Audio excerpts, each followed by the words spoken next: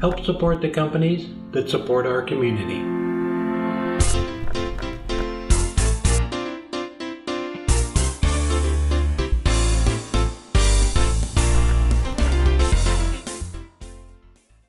I hot glued the blank to a piece of plywood. This will make it much safer when I cut it on the bandsaw. So I just roughed it up with some 80 grit sandpaper and then glued it on there.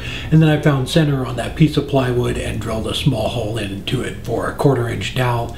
So the jig I'm using here on the bandsaw is a circle cutting jig. And you might remember uh, probably last year, I think, at least a year ago, I did a wave box. A buddy of mine, Ron, showed me how to do these cool wave boxes. And you use this same technique. You just kind of find center on, on your piece. With the wave box, we actually just did wood and I drilled right into it. But I didn't want to waste any of the, the blank, so I did it a little bit different. And plus it was round, so I didn't want to try and cut it, cut it freehand on the bandsaw. It's not safe. But the jig is really easy. You can actually use this same jig for cutting uh, blanks for bowls and things like that. But it works really easy. Uh, what I did to make the jig, it just clamps up against my fence and I marked out an inch each time going back just kind of a random one. I haven't used all of them but but this one it works great. It creates a nice little arc in a piece if you're not doing a full circle on it and that's what creates that wave look like the box i did after I got all the hot glue cleaned off, I put this back in the same size container that my cast the piece in. So what I wanted was a wave that was about three quarters of an inch to an inch thick going through the center of this thing. I'm going to make it translucent. So I kind of wanted, you know, it, it to be a nice thick line so you could see through it. So I glued a piece of plywood on there. I measured everything, glued a piece of plywood and then a stick going across it and that raised it up with that bucket I'm using to have a nice wave going through the center of it. And the bottom piece, so you don't want the resin pouring around the outside of it. So I took and ran a bead of hot glue around around that. Actually, and I was a little worried at first when I started pouring the resin in, but it it didn't leak, so I was all happy about that.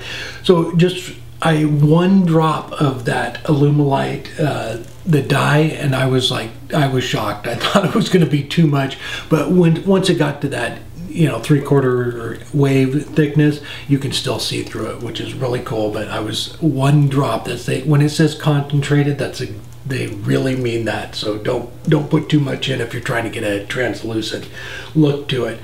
Um, and I waited a couple of days on this before I turned it and just cut it out of the blank because of the hot glue and everything else that was in there. It, it wouldn't pop out. But I cut it out and got ready to turn it. I turned the whole piece at about 2500 RPMs and I used the number one hollower with the negative rake cutter on it. The only time I used another chisel was when I was cutting off the little wood block on the end and I used the just regular cutter for that. It's um, and just kind of I did a sphere shape. I just did it by hand. I kept uh, checking it with the calipers, but it's kind of you know long messy process. So we'll get to turning it, and then we'll come back and uh, take a look at it.